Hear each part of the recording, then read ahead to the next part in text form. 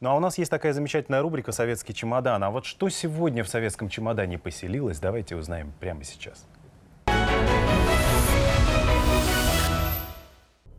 Новый год продолжает практически ломиться в наши двери, от него никуда не спрячешься. Продолжаем открывать наш чемоданчик, доставать оттуда необычные или наоборот обычные предметы. И естественно, если говорить об новогодней игрушке, все-таки мы, несмотря на то, что эту историю уже э, довольно волно э, осветили, э, многие выставки, многие музеи, вот так вот примерно выглядели советские новогодние игрушки. Это еще с довоенного времени тема пошла. Тут явно видно, что это такая пропаганда, в общем-то, ну, достижение, действительно достижение нашей такой летной индустрии, дирижабль, который гордо висит на елке. Стартанул он еще до войны, но ее продолжали и после войны выпускать. И у некоторых даже дома до сих пор еще они лежат мощь, советская мощь в этой игрушке.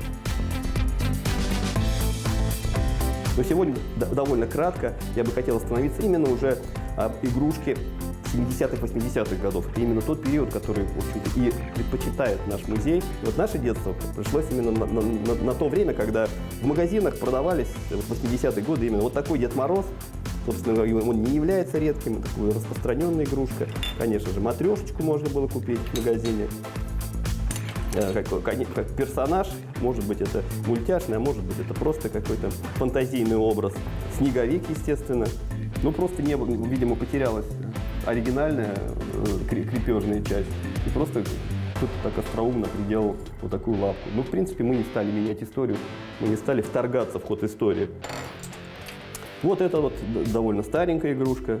Это, ну так, Мишка на севере, но она, в общем, вне комплекта у нас. Очень популярные были, те, конечно, темы какие-то вот именно связанные с животными. В данном случае медвежонок, он уже не, не северный. Явно видно, что один такой южный, второй северный. Цвет отличается. Мальчик Буденный замечательно. Хорошо, что эта тема и дошла, в принципе, она до перестроечного времени. Для начала 80-х годов, и, в принципе, еще можно было купить вот такие вот сюжеты.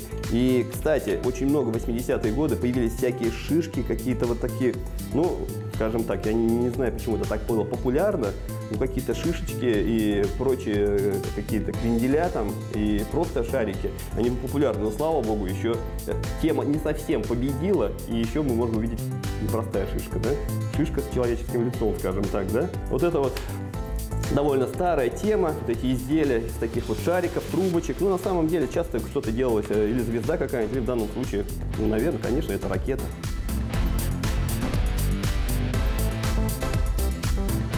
Кстати, привет автомобилистам. Обратите внимание, светофор. Э, удивительная вещь. Вы посмотрите, какой гибрид. Это просто торжество советского арта, соцарт. Обратите внимание, одновременно и елка, и снеговик. А на самом деле светофор